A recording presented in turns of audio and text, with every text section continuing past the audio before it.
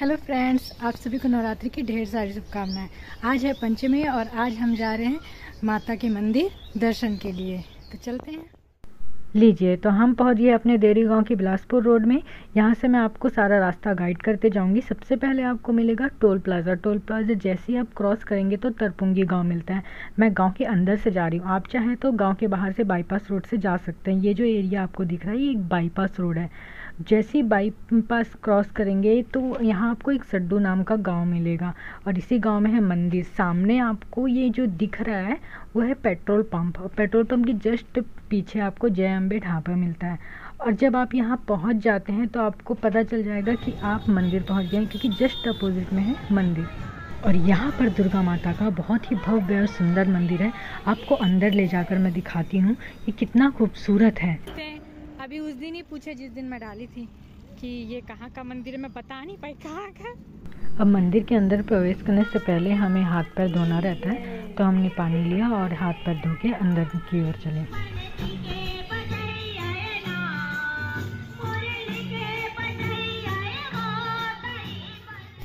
तो चलिए ऊपर माता रानी के दर्शन के लिए, क्योंकि माता रानी का मंदिर ऊपर में है, नीचे में सेवा चल रही है।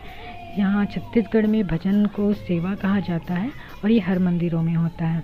तो बोलिए माता रानी की जय, बोलिए दुर्गा माता की जय जय माता दी। माता रानी सब की मनोकामनाएँ पूरी करें। और हम यहाँ पे पूजा करने के बाद मैं आपको सारा मंदिर दिखाती हूँ कि अंदर से बाहर कैसा है। और यहाँ पे भक्तों के बैठने की काफ़ी अच्छी सुविधाएँ हैं। क्योंकि होता है ना कि हम मंदिर गए हैं तो फट से नहीं आना चाहते, थोड़ा देर रेस्ट करके भगवान को याद करके आना चाहते हैं। और देखिए, बहुत ही अच्छा फ्लोर बना है और बाहर का नज़ारा भी बहुत अच्छा है।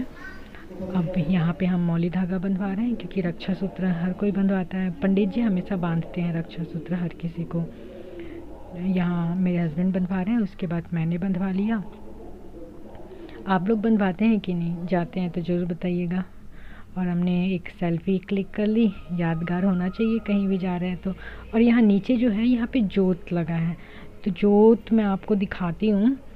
मगर वहाँ पे बहुत गर्मी थी, मैं अच्छे से शूट नहीं कर पाई। मैंने बस एक क्लिक किया छोटा सा और आगे बढ़ गई क्योंकि भीड़ भी काफ़ी थी। और ये रही जोत की फ़ोटो जोत देखने के बाद हम जय अम्बे ढाबा आ जाते हैं खाना खाने के लिए क्योंकि यहाँ का खाना बहुत ही अच्छा रहता है। तो वीडियो को हम यहीं पे एंड करते हैं और कमेंट में मुझे ज़रूर बताइए कि आपको आज का वीडियो कैसा लगा। तब तक के लिए बाय और लाइक, शेयर, सब्सक्राइब ज़रूर कीजिएगा। Thank you.